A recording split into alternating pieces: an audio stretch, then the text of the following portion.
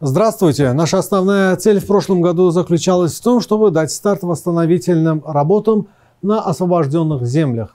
В то же время добиться того, чтобы новые реалии были приняты в международной плоскости. И результаты по обоим направлениям налицо. Итоги первого года поствоенного периода дают основание полагать, что все стоявшие перед нами задачи были выполнены.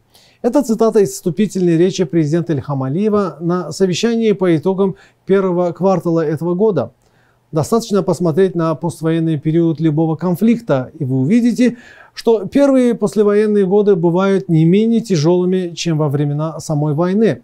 Но тогда как получилось так, что Азербайджан в первый же год после войны начал активно восстанавливать освобожденные территории?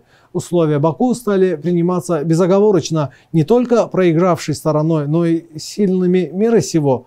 Так еще вдобавок Азербайджан не восстанавливает свою военную мощь, а увеличивает. Все просто. Во-первых, мы воевали за свои исторические территории. Во-вторых, президент Алиев знает, что и когда нужно делать. И в-третьих, мы не стоим у дверей Кремля, Белого дома или же Брюсселя в ожидании снисходительности. Мы решили свои проблемы сами. Ну а сейчас, если кто-то хочет содействовать нормализации Азербайджано-армянских отношений, пожалуйста, мы не против. Сцена ваша. Biz bu münaqişəni özümüz həll etdik. Мы сами урегулировали этот конфликт. До Второй Карабахской войны Минская группа действовала 28 лет. За эти годы страны-сопредседатели совершили, наверное, сотни визитов в Азербайджан и Армению. И результат налицо – ноль. Причины этого общественности Азербайджана известны. Не хотел бы говорить об этом долго. Результат налицо. Еще раз хочу сказать, что он нулевой. Азербайджан сам разрешил этот конфликт разрешил военно-политическим путем.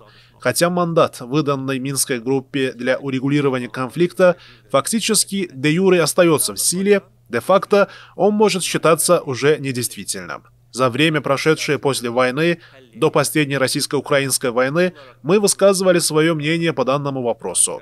Наш министр иностранных дел встречался с сопредседателями Минской группы на различных международных мероприятиях, и мы спрашивали у них, скажите нам, чем вы намерены заняться? Нагорно-Карабахский конфликт урегулирован. На территории Азербайджана нет и не будет административной территории под названием Нагорный Карабах. Скажите, чем вы намерены заняться, чтобы мы знали и высказали свое мнение?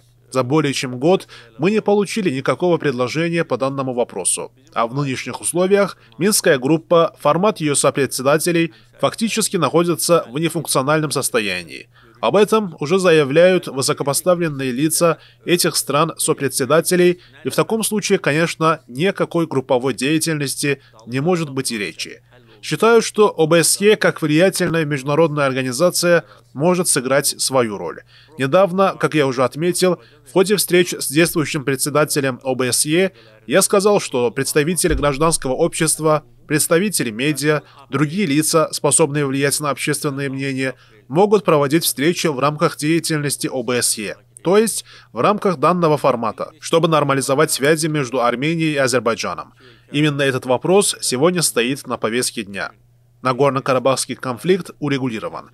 Сейчас вопрос в нормализации отношений между Арменией и Азербайджаном. И любая международная организация, способная внести свой вклад в этой области, конечно же, приемлема. Как вам известно, для нормализации связи между двумя странами Азербайджан представил предложение, состоящее из пяти принципов, и армянская сторона положительно отнеслась к данному предложению. Эти заявления уже были сделаны до брюссельской встречи. А на брюссельской встрече я просто хотел еще раз прояснить это для себя и выяснил, что Армения принимает пять принципов. Таким образом, территориальная целостность Азербайджана принимается, и Армения отказывается от территориальных претензий к Азербайджану. То есть, если эти пять принципов принимаются, это подтвердилось на апрельской встрече, то данные вопросы являются составной частью этих пяти принципов.